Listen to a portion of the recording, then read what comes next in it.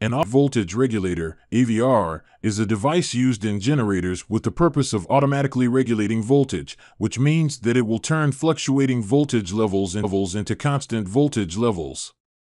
Automatic voltage regulators, AVRs, work by stabilizing the output voltage of generators at variable loads, but can also divide the reactive load between generators that are running in parallel, voltage droop, and helps the generator respond to overloads. Putting it as simply as possible, automatic voltage regulators, AVRs, continuously takes input variable voltage ranges and maintains a constant output at a fixed voltage. Unregulated generators, which are generators without an automatic voltage regulator, AVR, are generally unable to sufficiently meet the power needs and requirements for every piece of equipment or device connected to the generator. This is because some unregulated generators are unable to control or regulate voltage, so the terminal voltage will always continue to decrease as the load requirements continue to increase. If the voltage of a generator is not maintained at a constant, fixed rate, the overall generator performance can be negatively impacted and any utilities, equipment, or machinery that is being powered by the generator may also be negatively affected by the unregulated generator. The automatic voltage regulator, AVR, directly correlates to the performance and longevity of your generator, as well as the items that the generator is providing power to, and ensures that the voltage output delivered will be consistent in its load current even if fluctuations were to occur in the background. This helps mitigate and even eliminate the damage that any fluctuations can cause to appliances, machinery, devices, and equipment. What are the functions of an automated voltage regulator, AVR?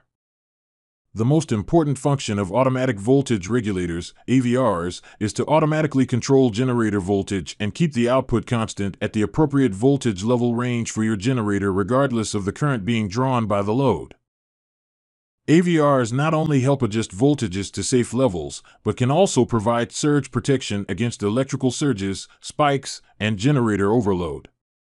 As mentioned, automated voltage regulators, AVRs, also help the generator respond to and handle overloads to prevent shorting, and can also divide the reactive load between generators that are running in parallel.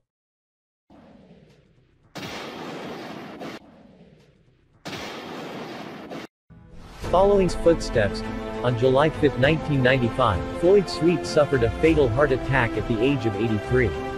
A couple of weeks before his death, Sweet said that the automotive industry was testing his power his power unit for use in cars, and that they had a unit running for 5,000 hours. He said he was dealing with people at General Motors, but no one has been able to confirm Sweet's claims. The VTA itself is bogged down in legal problems. But Tom Bearden, who put much of his own time and money into the project, hopes that the VTA can be resurrected so that the world will realize what a pioneer Floyd Sweet was.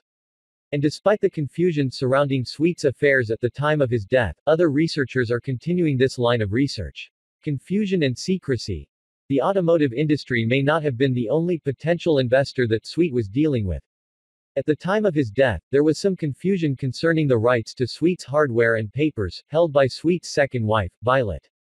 Bearden says that Sweet signed a number of agreements with a number of backers, and that some of these people have claimed rights to the invention.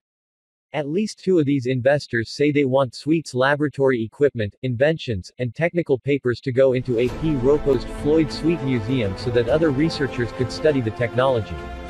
Walter Rosenthal is trying to help all parties work towards an agreement. Despite Bearden's urging, Sweet never had the VTA certified by independent testing. He feared that his life would be snuffed out immediately if he even attempted such a thing, Bearden says.